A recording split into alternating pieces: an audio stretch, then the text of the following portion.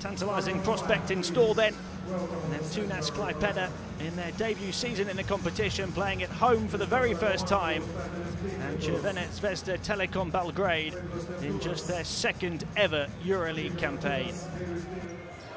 And Zvezda have an opportunity to try and tie. This is Mitrovic, and then under the hoop is Marjanovic, and that's his bread and water.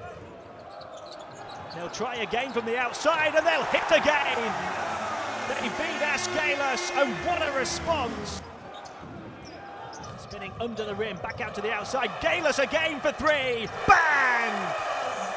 Deividas Gailius has four of four from downtown. Here's Dimsha quickly pushing it on. Wonderful ball movement.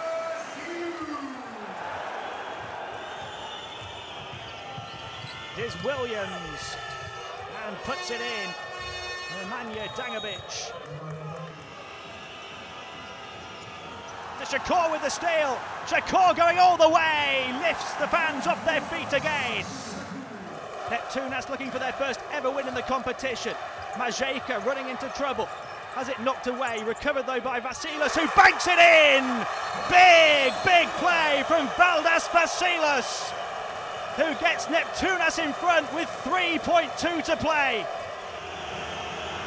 Trying to tie the game and misses, and Neptunas have their first ever win in the Turkish Airlines EuroLeague in their first ever game on home court.